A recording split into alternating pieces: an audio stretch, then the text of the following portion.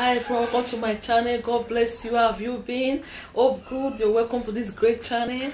Hallelujah. Those of you that have subscribed that are with us, I really appreciate you. I thank God for your life. Thank you, thank you, thank you for believing in us. We're going to grow grow, grow. One day, going to be one million subscribers in Jesus' name. Amen. It's going to happen. It's going to happen. Hallelujah. Amen. God bless you. And for those that are new here, just seeing me for the first time, this is Blessing Ehiagwina TV. I love you. Please subscribe. Stay with us. The great channel that has the Word of God, prophecies, Word of knowledge. We have the whole of the Bible in audio on the playlist. Stay with us. God bless you. Subscribe and touch the bell. Hallelujah. Today I have a word for someone out there that has a low esteem. You feel not beautiful enough. Every time you step out, you feel not beautiful enough. You feel that other people are more beautiful than you. That's what is for you. You are wonderfully and fearfully made. You are beautiful the way you are. You are just unique. Don't compare yourself with other people.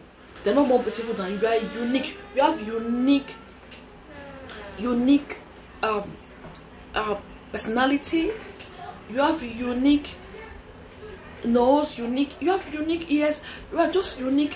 All the members of your body are unique. They must not be the same as somebody else's own. You are special. When god was making you he did not make any mistake at all. You the way you are you are complete. And i want to tell you i'm trying to tell this tell you this word this evening. This is what i came to me to tell, tell you this evening. That when god was making you he made you just the way you are because you are unique you are special you are beautiful. So throw that low self-esteem away. When you dress up step out bold and confident. You are too much. I don't see people that were born without having some part of the body? They are still confident and some of them are so wealthy and they, they are the top um i don't know top people or let me put it this way. They're one of the top people in the world. They are married they have children they have everything. What people that even have two legs and two arms don't have they have it.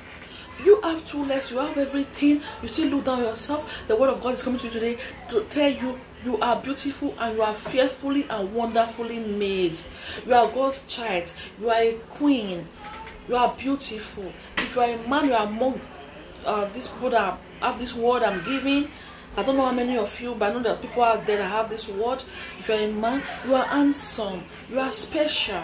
Receive this word as you come out, come out every day, giving God thanks, being confident of yourself. And the purpose of your life will be fulfilled, and God will take you to that place that He has planned for you to be. There will be no limitation in your life in Jesus' name. Stop having low self esteem, for you are wonderfully and fearfully made. God bless you. See you next time.